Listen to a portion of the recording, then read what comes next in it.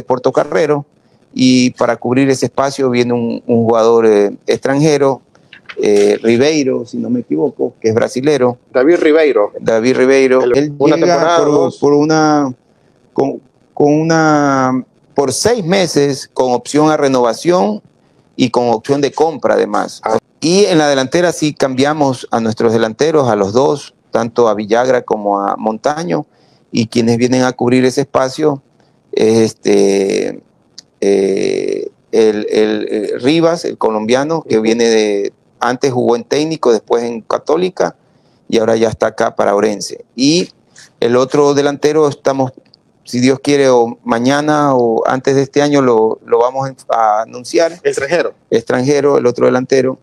¿De qué nacionalidad? Eh, mm, preferiría que no se comente, pero ya en estos días lo vamos a hacer, ya actuado en el fútbol.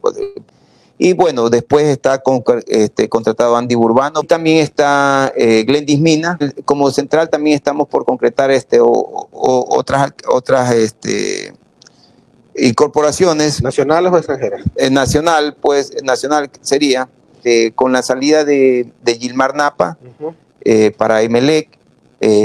viene un arquero que estuvo, fue parte de la negociación, que es un, un arquero que viene a, a- a estar eh, peleando el, el- Arquero de Melec. eh, un arquero de Emelec que viene para, para cubrir ese, ese espacio de, de Gilmar Napa. Joven, también, Juvenil. juvenil, juvenil, también es joven. Es 2003, igual del mismo año de, de Gilmar Napa. Gilmar. El tercer arquero eh, est- estaríamos concretándolo todavía, no, no tendríamos y tendríamos que ver si algún arquero canterano puede también ascender, ¿no? Pero